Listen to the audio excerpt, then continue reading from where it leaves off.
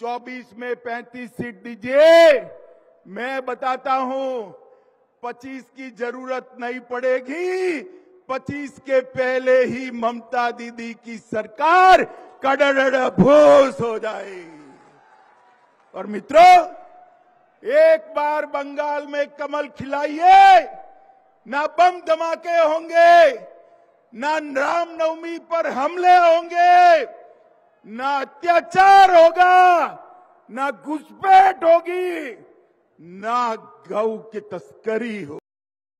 साल के अंदर जिस प्रकार का भ्रष्टाचार चल रहा है, वो भ्रष्टाचार मिटाने का एकमात्र रास्ता भारतीय जनता पार्टी।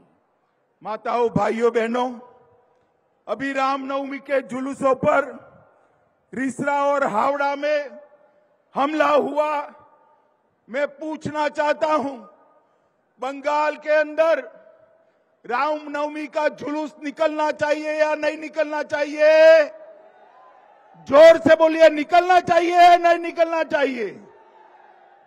अगर रामनवमी का जुलूस शांति से बंगाल में नहीं निकलेगा तो कैसे चलेगा?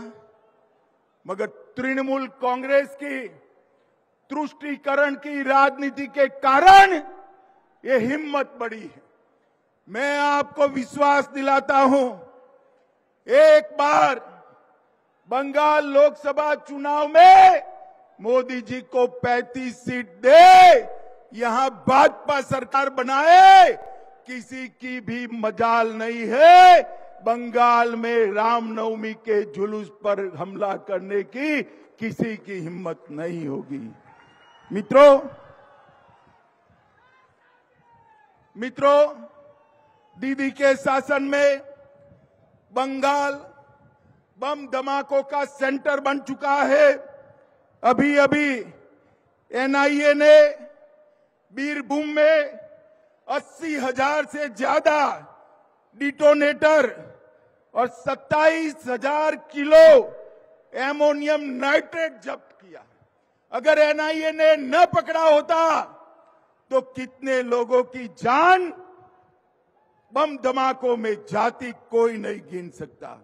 मित्रों, जिस भूम में आज़ादी के आंदोलन में बहुत बड़ा योगदान दिया, उस वीरभूम को आतंक का सेंटर बनाने का काम ममता बनर्जी की तृणमूल कांग्रेस ने किया मोदी जी ने पूरे देश के अंदर जातिवाद और परिवारवाद को समाप्त कर दिया है।